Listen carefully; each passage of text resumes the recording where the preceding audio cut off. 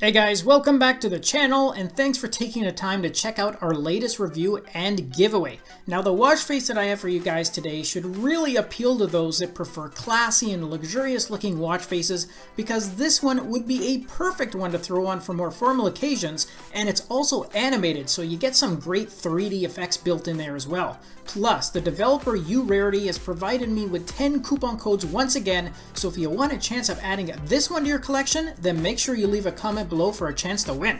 Alright, let's go have a closer look at this brand new face called Temporal Apparatus Gold.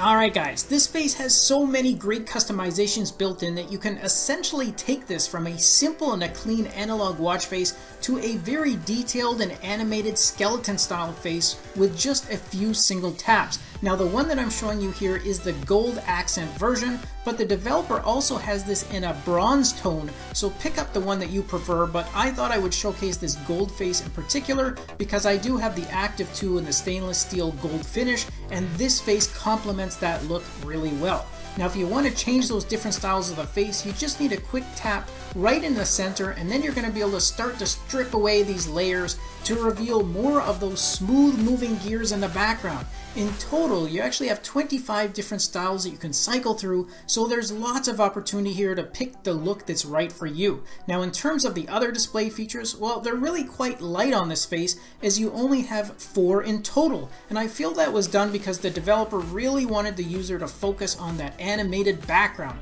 So if you're someone that likes minimalist styled watch faces, then this one also fulfills those requirements. Okay, so back to those four features that you do have. Well, the date is located there at the bottom with the current week shown at the top. Then you have your last recorded heart rate identified on the right hand side and your power remaining is shown on the left. And by the way, if you tap on any of those four features that I just mentioned, then you can also set your own customized app shortcuts, so you do have some additional functionality built in here.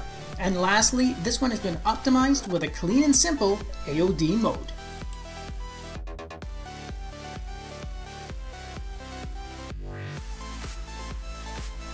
And if you want more information on the watch face that I reviewed today, then simply do a search in the Galaxy App Store under the name of this face. The full details, including the direct link, is included right in the video description.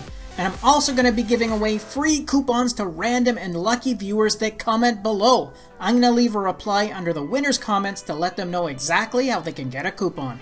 As always, good luck to everyone, enjoy the rest of your day, and I'll catch you guys in the next episode. Thanks again for watching our review, and if you liked it, then show us some love with a thumbs up, subscribe to the channel, and share the video with your friends because with your support, it really helps me keep the channel going so I can continue to offer you guys discounts, giveaways, and of course, fresh content. I'll see you in the next episode. Until then, take care.